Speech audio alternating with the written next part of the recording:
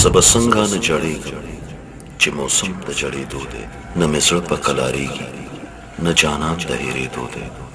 زه به تیږه په زړه کېږدم او په دې سوچ به اوده شم چې اخر به شي سهار دا ماښام په ختمېدو دی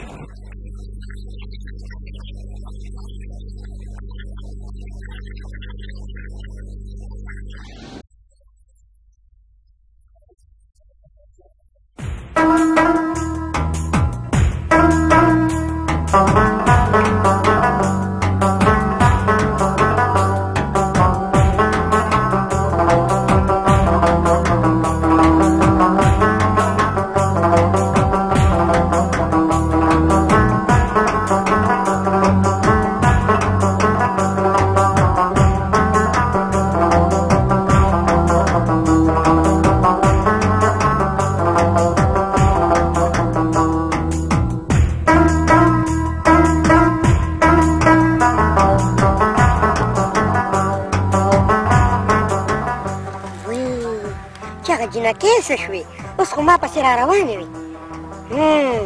زما په خیال بیا به په باغ کې ګانې وي